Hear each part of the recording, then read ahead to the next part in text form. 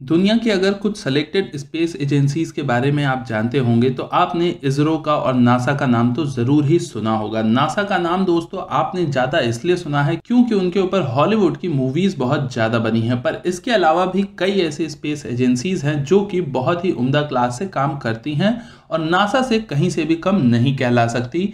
उसमें रशिया का रोस कॉस्मोस और भारत का इसरो भी एक है। भारत का इसरो कुछ चीज़ों में ज़रूर नासा से पीछे है, जैसे कि ह्यूमन स्पेस फ़्लाइट मिशन लेकिन कई चीज़ों में भारत का जो इसरो है, वो नासा से भी आगे जा चुका है अपनी कैपेबिलिटीज को बढ़ा के। और इसरो जहाँ पे अपनी कोशिशों को और आगे कर रहा है कि वो दुनिया की बाकी स्पेस एजेंसीज को न सिर्फ़ टक्कर दे, बल्कि उनसे आगे भी बढ़ पाए, उसी के तहत इसरो ने अपना एक मैन मिशन यानी कि ह्यूमन मिशन प्लान किया है, गगनयान। जिसकी लॉन्च डेट है अगस्त 2022 के आसपास और उसके तहत जो भारत से चार एस्ट्रोनॉट हैं, वो रशिया में ट्रेनिंग ले रहे हैं। क्यों रशिया में ट्रेनिंग ले रहे हैं?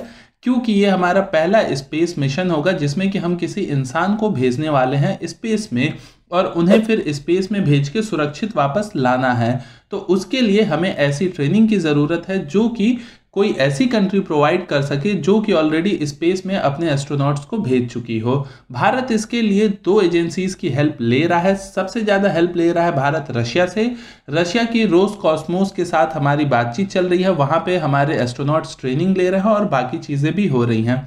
साथ ही फ्रांस भी इसमें सपोर्ट कर रहा है। लेकिन यहाँ पे अब भारत के इसरो को मदद की ज़रूरत थोड़ी सी पड़ी है नासा की। अमेरिका के साथ भारत के रिलेशन इस समय काफ़ी बेहतर हुए हैं लास्ट तीन चार सालों में।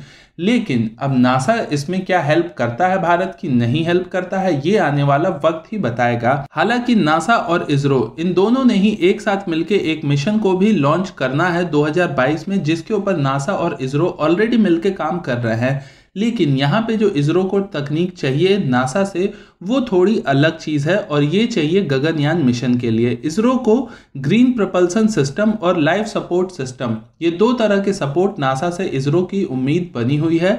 हमें देखना है कि ये दो तरह के सिस्टम की सपोर्ट को क्या नासा प्रोवाइड करता है या नहीं करता है। अगर नासा प्रोवाइड करेगा ये सपोर्ट तो ऑब्वियस है कि भारत और अमेरिका के जो रिश्ते हैं, वो और ज़्यादा ऊंचाइयों को छुएँगे।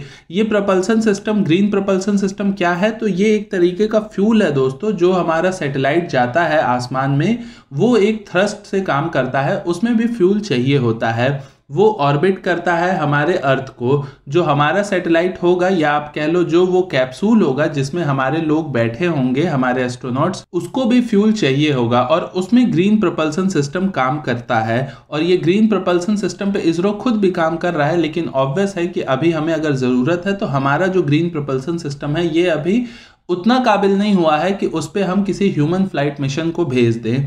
तो एक ये चाहिए, दूसरा लाइफ सपोर्ट सिस्टम चाहिए होता है, क्योंकि स्पेस में लाइफ सपोर्ट सिस्टम बहुत ज़्यादा इंपॉर्टेंट होता है हमारे जो एस्ट्रोनॉट होते हैं, उनकी सुरक्षा के लिए। अगर इसरो चाहता तो ऑब्वियस है कि इसे इसरो ले सकता था, रशिया से भी। लेकिन यहाँ पे इसरो का रशिया से ना लेने का कई रीजन हो सकता है। रशिया से हो सकता है नेगोशिएशन में कोई बात दिक्कत आई हो। हो सकता है कि रशिया ये सिस्टम सप्लाई करने को तैयार हो, पर फिर भी नासा के साथ इसरो चाहता है टाई अप करना, ताकि फ्यूचर में हमारे रिलेशंस नासा और रशिया, यानी कि अमेरिका और रशिया दोनों से ही अच्छे बने रहें। क्या चीज़ है? ये तो आगे आने वाला वक्त बताएगा कि नासा इसमें हेल्प करता है इसरो की या नहीं। आपको क्या लगता है दोस्तों, क्या नासा इसको लेके पॉजिटिवली रिप्लाई करेगा इसरो को? सुझाव के लिए कमेंट सेक्शन आपके लिए खुला हुआ है। अपने सुझाव वहाँ ज़रूर लिखें। नमस्कार, जय हिंद।